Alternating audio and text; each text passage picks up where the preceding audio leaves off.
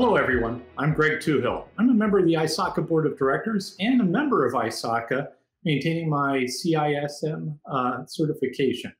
And today I'm coming to you as a member of the Board of Directors to introduce our new chair of the Board of Directors, Pam Nigro. And Pam, I think our members would like to get to know you better as their chair. And today I really appreciate you sitting down with me uh, to talk through a few things so that everybody gets to know you a little bit better. So, welcome. Thank you, Greg. I'm happy to be here. Well, thank you for uh, joining us. So, let's start uh, for our audience, uh, our fellow ISACA members. Please tell us a little bit about yourself and your experience as an ISACA member. I've been with ISACA since about uh, 2007. And as a member, I was engaged into the Chicago chapter. And from the Chicago chapter, I started getting involved in a lot of global activities. And from there, it led to the board of directors. And then from board of directors, I was elected chair this year. So very happy to be part of the organization for so long.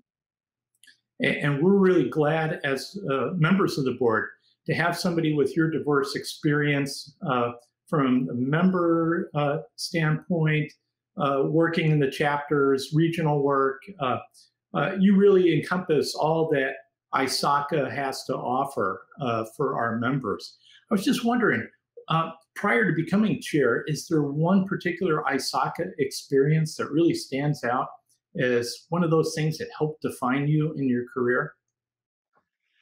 As an ISACA member, I think one of the things that really helped me as a defining moment on how I wanted to commit to ISACA was really when I was on the uh, Chapter Leaders Council and working across globally um, with many different chapter leaders to really have an impact on how the chapters came together. So, setting up things like Zoom, setting up things like you know, um, having an impact on emails and web pages and all sorts of things that help a chapter work on a regular basis. And, and it was exciting to see that many folks were struggling with some of the same things we were struggling here with at the Chicago chapter, and then be having the opportunity to really impact and make a change.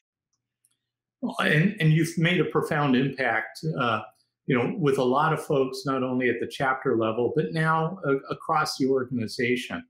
Um, so, you know, as you've taken a look at your career, which has been successful uh, and leading up to not only the position of chair, but success in uh, in business as well. I was wondering if you may be able to uh, briefly tell us, you know, what have you done during your career, and how has ISACA helped you uh, through your successful career?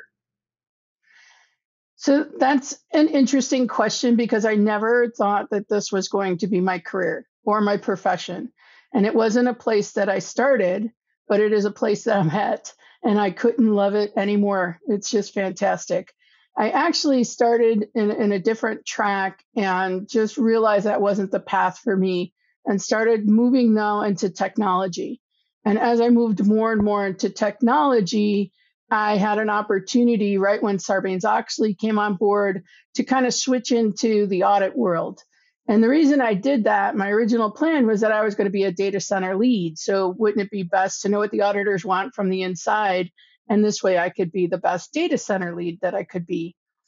But when I got into auditing and I got into all the things that we were doing, managing risk and helping organizations really um, move forward with their technology struggles in the sense of, you know, how do you secure things? How do you make things private? All of that. I fell in love with it.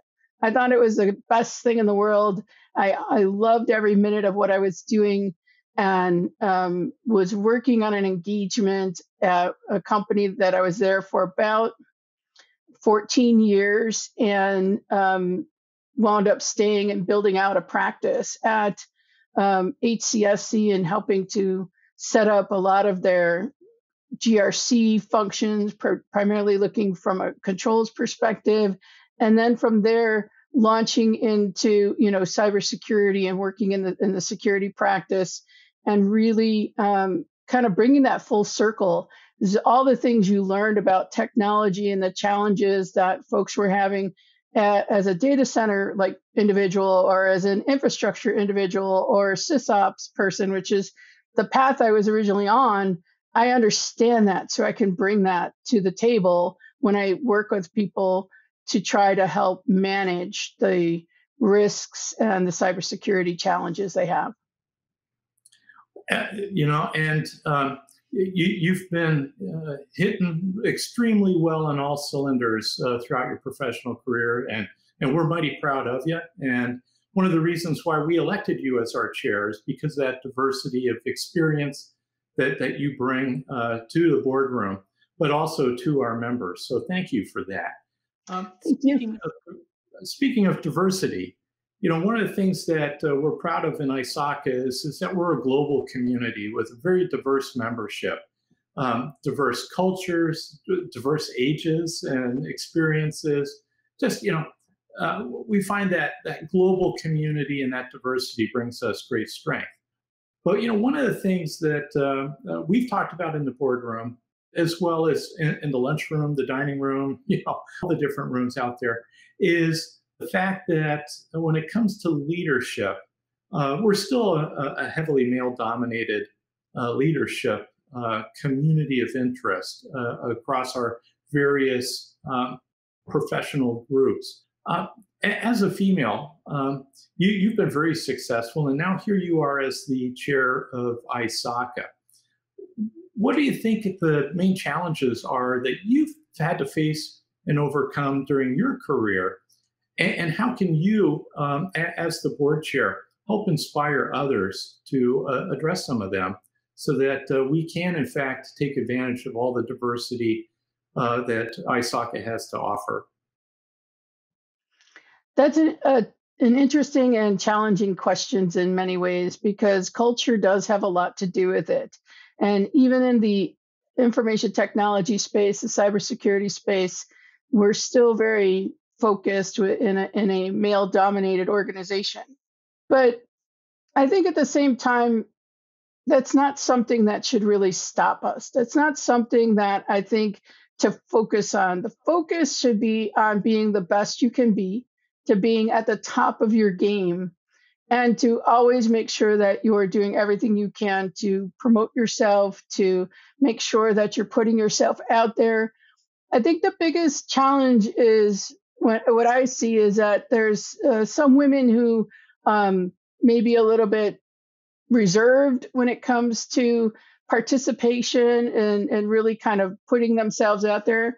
I think it's time to be bold. I think it's time to to to kind of like stand up and be counted because there's a lot of things that women bring to the table and especially even in my own organization right now in terms of how to bring a balanced look to things. And one of the things from my perspective in particular was around the business, right? And having the business be part of the conversation. And one of the things women are, are you know, um, good at sometimes is bringing people together and bringing people together uh, who have diverse thoughts and getting consensus and building a community that would actually then you know help your organization continue to move forward.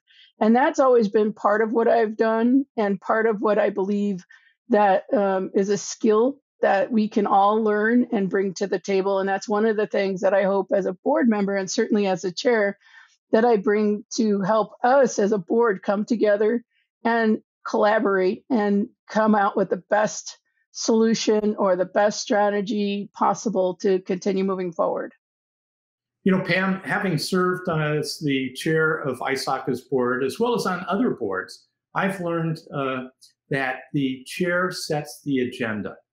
Uh, so, as you assume the role of chair of ISACA's board of directors, what's on the top of the agenda for you? One of the things for me, Greg, I think that's most important is to double down on this bold vision that we have put together around digital trust. I believe ISACA has a tremendous opportunity. I believe there's a lot that we can do to start to converge in many different areas and opportunities within digital trust. I believe we can start to help individuals see the potential, the positive potential of technology and really bringing that together And so for me, as a chair of ISACA, it's really to enable that strategy and enable that vision that we have put forward as the board of ISACA. Thank you for that. You know, we're going to be facing some challenges together in a challenging world. You know, right now, um, uh, many parts of the world uh, are starting to enjoy emerging from uh, the, the pandemic, but we still have uh, uncertainty around the world uh, with the, uh, the tensions in Europe between Russia and their invasion of Ukraine. We have across the globe economic concerns over inflation and uncertainty in the world is a fact of life for our members, regardless of where they are in the world. How do you think uh, ISACA can rise to meet the challenges and help our members uh, best deal with the uncertainties of the world? There are many opportunities that uh, present to us from a perspective of, ISACA. ISACA has the um, opportunity to bring forward new training, new learning, new chance to continue to grow and to be diverse in these different technologies. We're seeing, you know, part of the pandemic, everybody just took whatever was on prem and put it into the cloud. And, you know, that's not really a, a cloud centered uh, organization. There now has to be that transformation. And so helping organizations manage that risk and looking at that risk profile and whether that's a cyber risk or an IT risk, or even some cases a financial risk. Those are all things that we can help organizations do. And as ISACA, we can enable our members to really be, you know, at the table to help organizations succeed in those spaces. Thank you for that, Pam. You know, and one of the things that prior to the pandemic that uh, we as board of directors, uh, uh, as well as the chair and uh, the CEO got to do uh, to help us better serve the members was get out and visit different chapters and regional events and things of that nature. Um, do you think that that's something that uh, we're going to be able to uh, resume as we uh, move into your tenure as the chair? Well, I believe so. And I'm looking forward to it, actually. And I believe we will be having our board meeting as part of the um, European uh, CACS conference in Rome. And so we're trying to be on the ground with different members and meet different members. The other good thing is that we have a whole global strategy and initiative. And Chris Dimitriadis was really um, on the forefront of that. And I got an opportunity to participate with him. So I got to be with a lot of the different leaders all throughout the different regions. And it was really exciting to reconnect with people again. Some of the folks I knew from other conferences or other uh, interactions that I had, and some of the folks I was meeting for the first time. And it was really great to hear the concerns for each of the different regions, the concerns for the different um, cultures and, and the different companies within those cultures, and then to be able to come up with a strategy or come up with an approach that's going to meet the needs of such a diverse population. So I think we have an opportunity through that process. We have an opportunity when we have board meetings to make sure that we're meeting in the communities where people are at, it's either from conferences or chapters at, and connecting with folks through those events. Well, thanks. You know, as uh, as I've talked with folks from uh, around the world of ISACA. I think there's a, a hunger uh, for a lot of our members to get back together physically where they can, but also still maintain the digital presence uh, where it makes sense. And uh, I, I'm, I'm glad to hear that getting out and uh, being physically present uh, where it makes sense and where it's safe is part of your game plan uh, for the board and how we serve our members better. You know, let, let me switch gears for a second, talk about uh, another leadership issue. It's been said that leaders are not born that way, they're made. And they're made through a combination of experiences and, and mentorship. And mentorship is a huge part of growing into being an effective leader.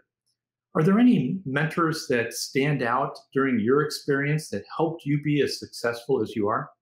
There are many. I wish I could name one. And and there were so many people along the journey who have helped me along the way. There was one mentor in particular that that comes to mind. And really what it was about was understanding the landscape. So he had a, he was very attuned to the different nuances of the culture of the organization and where things were were moving and who was the person that was going to you know get the projects or that different kinds of things and help me see what was happening or navigate that landscape understand what was going on and and really um, be able to work through those processes right and be able to work within that organization rather than always sometimes being like a, a force against it. And, and so that was one that was very strong. I would like to say also, and you've heard me say this many times, I believe, and I don't want to sell another organization, but I'm going to say it Toastmasters is probably one of the greatest organizations for communication and leadership skills. And that's the secret that Toastmasters doesn't let out. They also have leadership skills also, I think we're we're changing our organization too, and some of the things that we are preparing for the chapters in terms of what does it mean to be a vice president, what does it mean to be a secretary, what does it mean to be a treasurer of an organization.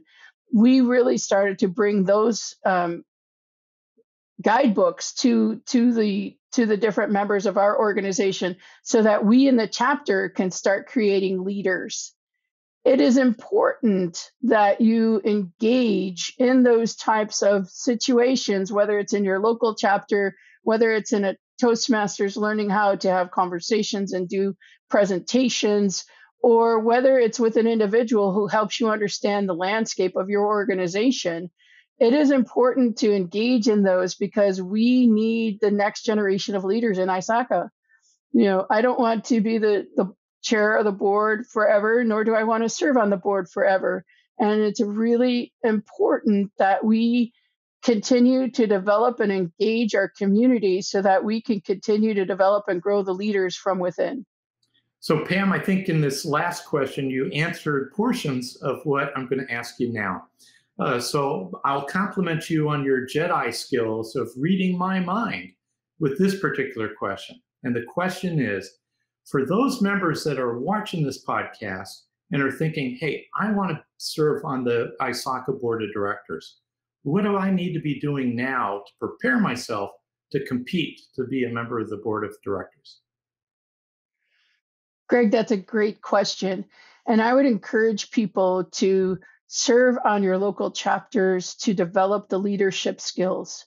It is not about being a cybersecurity expert, an IT audit expert, a risk expert when you become a member of the board. It is really about understanding the business, understanding the landscape, being able to have a greater vision about what needs to be done in the future and how we need to move forward as an organization. And even in my own personal career, all the technical skills that I learned as I was coming up through, you know, my time and and and uh, and throughout my career journey, those aren't the skills that are serving me now as a, as a VP of an organization. Those aren't necessarily the skills that are serving me now as the chair of the board of directors. It's really about communication skills. It's really about taking those technology skills that you know you understand breaking them down in a way that's consumable not only for your audience, but placing a business perspective around them, understanding that cybersecurity has a business component to it as well, risk has a business component. All of these have business components that really need to be understood. So, part of what I did on my career journey was to go back to school and get my MBA so that I can, again, move into the business and understand the conversations that were happening and the concerns that were happening and become more versatile in, in what it is I needed to do, understanding how to read financial statements, understanding how to talk to the CFO, the COO, what were their concerns and how could I show that what we were doing in cybersecurity or what we were doing in IT audit not only aligned to what they were doing, but actually supported them. And in order, then I would ask, you know, for support from them as well. So those are the kinds of things that I think will help propel your career forward and give you the skills needed to serve at your local chapters and maybe at regional uh, events and regional meetings, and then ultimately onto the board of directors. That's awesome. Now, I do have a few uh, uh, questions left in the amount of time we have. So, the first one is what about ISACA's mission excites you the most?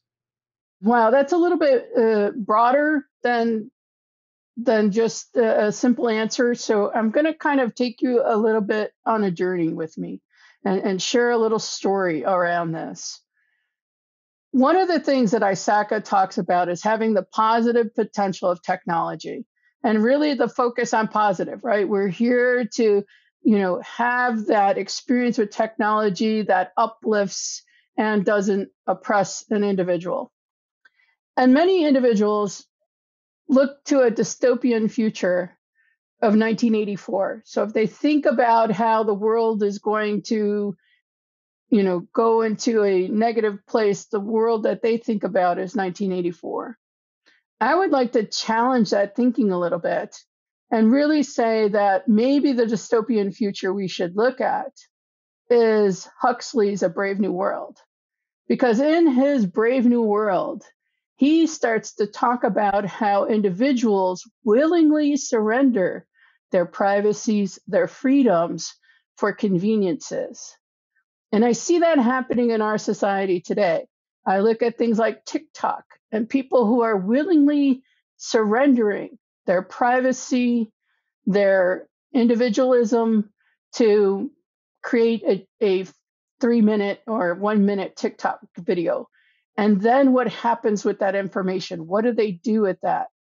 And so I believe ISACA has a real role to play and that positive potential, helping organizations use the information appropriately, using it in a way that will continue to support the individual and not use it against the individual. So that is really, I think, a role that ISACA can really play in and really start to build out to where we talk about positive potential. We're here to help organizations navigate that gray so that they don't overuse information for a negative purpose, but only use it for its appropriate purpose. Thank you. And that force of good uh, is something that I think is shared across our community, uh, regardless of what country you're in, what career field you're in, what company you work for. We all want to do the right thing the right way. So, you know, from a value proposition standpoint, how would you articulate, you know, why ISACA to somebody who's never heard of us before? I think ISACA has several items going for it. And I think the main one really is ISACA's community. It's the community of professionals that get together, share knowledge, exchange information, exchange ideas, and really then help put forth the structure to help organizations realize that positive potential. So if you think about how COBIT was built and, and how COBIT has evolved over the years, it has been through the people with boots on the ground who's had the experiences that want to share that knowledge, that want to get out and guide other organizations to maybe building out the right framework, to maybe helping them measure uh, their their uh, risk appropriately. So I think that's really the value proposition of ISACA. I think that is really where we we shine and where we're the strongest. I think our certifications are also very strong. The things that we look for, the years of experience that we want, the other things to um, round out an individual so that you you uh, can feel confident if somebody has an ISACA certification that this person has the fundamental knowledge and, and skills that you need uh, uh as, as a hiring manager or someone, you know, an HR person in an organization. Those are the value propositions of ISACA, and those are the things that I believe will keep us strong in the future.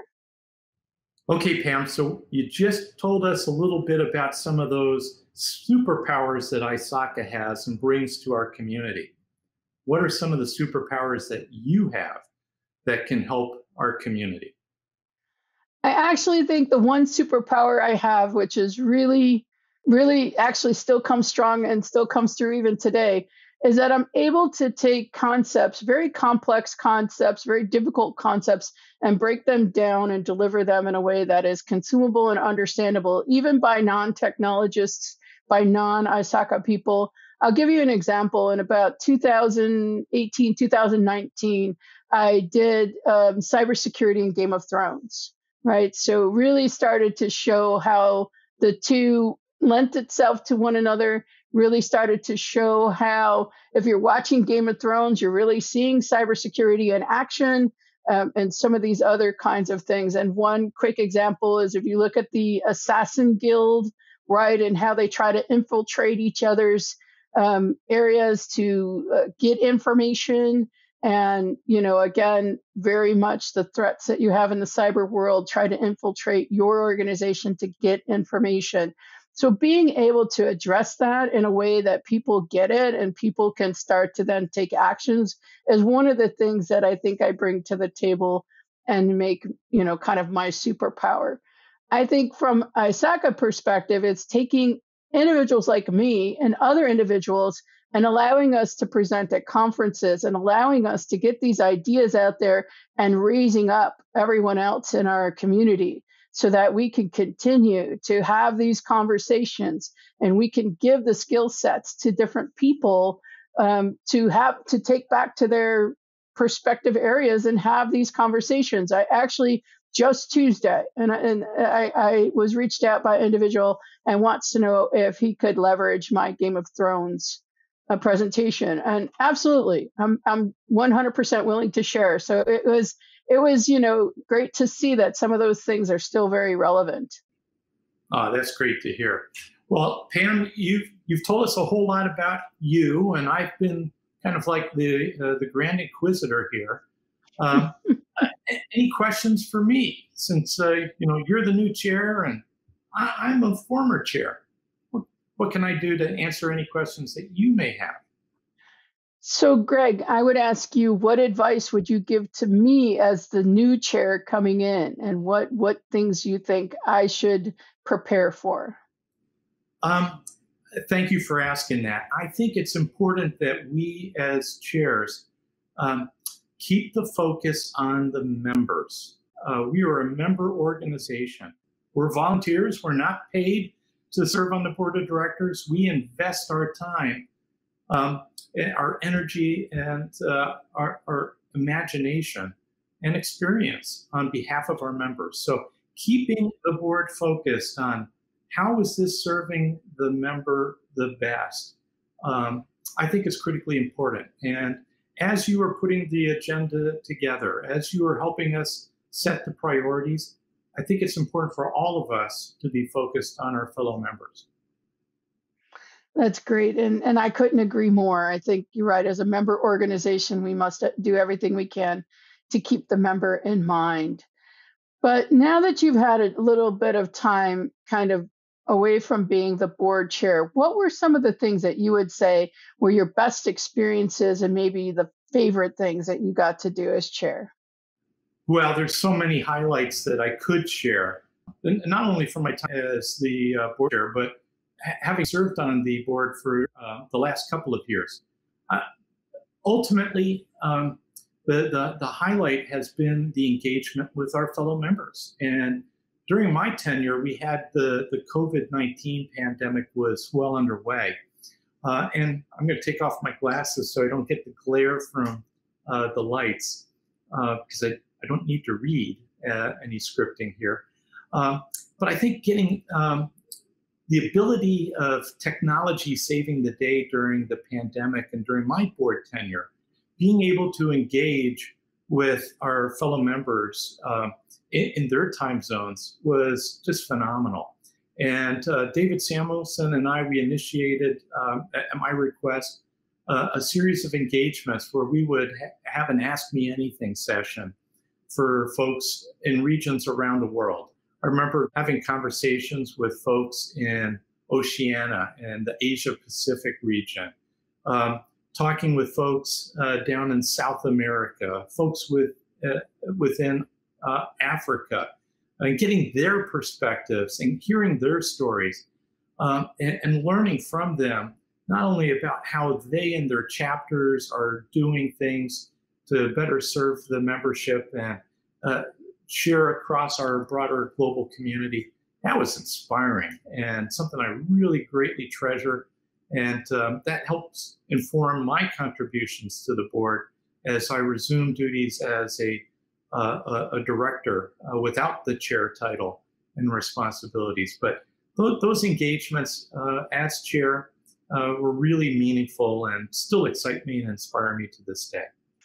Well, that's awesome, Greg. And I would just say now, um, you know, there's going to be an opportunity for me to do an Ask Me Anything. So I would take a look at that um, on our Engage platform. So I won't get up and, and, and do it in the middle of the night like you, Greg, but I will still be able to engage with the global community. So that's fantastic. And I'm glad that was so uh, meaningful for you as as a chair. The thing about it was is I wanted to make sure that I wasn't making the members get up in the middle of their nights to talk to me during my day. Uh, because the service is part of my ethos. I think it's part of our ethos as a uh, as a community in ISACA. Uh, so I wanted to make sure I got up at a time and got in front of them at a time that was convenient for them and not for me uh, because I volunteered to be here. And boy, I tell you what, the reception I got from South America, Africa, Oceania, Asia Pacific, I mean, it was just tremendous. I learned so much from our members. And I'm sure that you're going to you're going to do the same. And uh, with the pandemic, uh, seems to be under control or uh, ebbing, you know, we'll we'll be able to resume getting out in person for regional and chapter events I'm looking forward to that, and I hope you are too. Oh, I most certainly am, Greg. Thank you. And now, just as a last closing thought, what's next? You you've you're the, you've been the chair of the ISACA board of directors, and for many, that is like the achievement. So, what's next for you? Well, you know, if a board of director chair of ISACA is the pinnacle of ISACA membership. Um, you know, as I take a look at my professional community, um, and as a cybersecurity professional, I've been blessed to have just a, a wonderful career. You know, I uh, I retired from uh, the military as a general officer. I was appointed by the President of the United States as uh, the United States government's first uh, federal chief information security officer. And now I've got kind of like that dream job in cybersecurity of running uh, the CERT here at Carnegie Mellon University Software Engineering Institute. So um, one of the things I'm doing on a professional basis in my day job is, is I'm helping the CERT pivot from a more reactive cyber incident response posture to a more proactive uh, cybersecurity engineering and resilience team. And uh, we've launched a new strategy within CERT uh, that's based on four uh, primary goals uh, advance cyber by design, enhance cyber resilience, help move the market, and fourth, shape the future. So, time and energy right now is engaged uh, with my team here at the CERT to execute that strategy and execute it well. And uh, the payoff is a, much more secure cyber ecosystem that'll better protect everybody, not only here in the United States, but around the world. And uh, that's what's, uh, what's next for me. Uh, but I'm going to continue to serve on the board of directors at ISACA until my term limit uh, comes up uh, in two years. And I'm looking forward to continuing to serve not only the global cyber ecosystem, our global community, uh, as the leader of the CERT, but also to serve as a member of ISACA's board of directors. Well, Greg, your participation and your insights will be most welcome and will really, I think, help us prepare and propel the, our digital trust initiatives forward. And I certainly would welcome your advice and your guidance as the chair for ISACA. Thank you so much, Pam. And uh, thank you so much for uh, uh, this conversation today. And I hope that our fellow members uh, got a lot out of this podcast. And I look forward to uh, spending more time with you at our next meeting and getting back into the European theater with some of our members out there. Uh, but uh, I, I, look forward to uh, serving our members and us together, uh, getting out and spending time with our fellow members so that we can serve them better. Greg, thank you for for the opportunity today. I really appreciate being able to share my story and really appreciate the opportunity to, to explore ISACA's message and strategy a little bit deeper. So thank you so much.